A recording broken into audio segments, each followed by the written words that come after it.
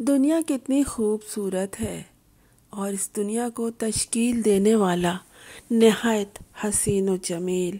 इसने इंसानी जहनों को तमाम तर तख्लीकी सलाहियतें बख्श दी हैं। ये देखने के लिए कि इंसान इनसे किस हद तक काम लेता है। उसने इंसानी हाथों में वो तमाम हुनर समो दिए हैं कि देखें कि ये इनसे दुनिया को कितना संवारता है। इंसानों ने दुनिया को बहुत संवारा है।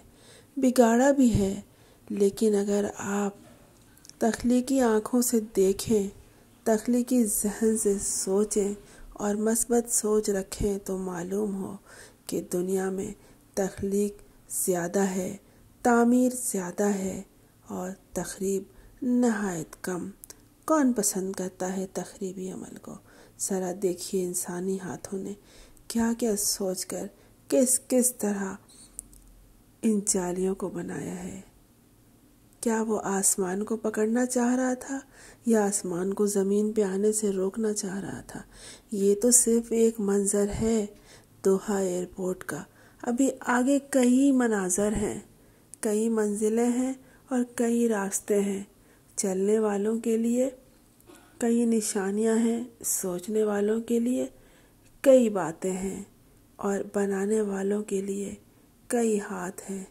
देखते जाइए आगे क्या क्या कुछ है। आप और हम क्या कर सकते हैं इस दुनिया को मज़ीद बेहतर बनाने के लिए, लोगों के दुख दर्द को कम करने के लिए? कि ज़िंदगी का मकसद यही है, तख्लीक करने वाले ने दुनिया को इसीलिए तख्लीक किया है दुनिया इसीलिए बनाई गई है कि इसमें रहें, बसें और वो कुछ करें जिसकी सलाहियत अल्लाह ने हमें अता की है। आगे बढ़िए, मंजिलें बहुत